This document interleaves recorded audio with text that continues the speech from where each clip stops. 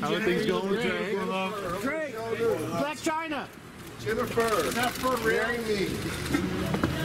We take this crap out of the Well, that was quick. She could have given us a heads up. Ah.